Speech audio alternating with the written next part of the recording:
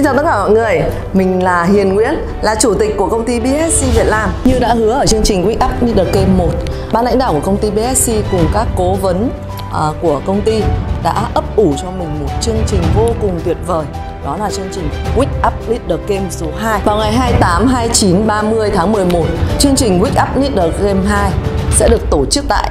khu du lịch Ao Vua với quy mô lên đến cả chục tỷ đồng các bạn ạ. Nếu bạn là chủ spa thẩm mỹ, là chủ salon tóc, mi móng hay là các bạn đang kinh doanh mỹ phẩm thì đây sẽ là một cơ hội dành cho bạn để bạn có thể phát triển doanh số và có thể bứt phá trong thời gian sắp tới. Hãy tham gia cùng Hiền để nhận được vô cùng nhiều các kiến thức từ các vị chuyên gia của chúng ta. Hãy nhanh tay đăng ký vào đường link ở bên dưới để nhận được vé tham dự chương trình vô cùng tuyệt vời này nhé. Hoặc các bạn có thể comment hoặc inbox,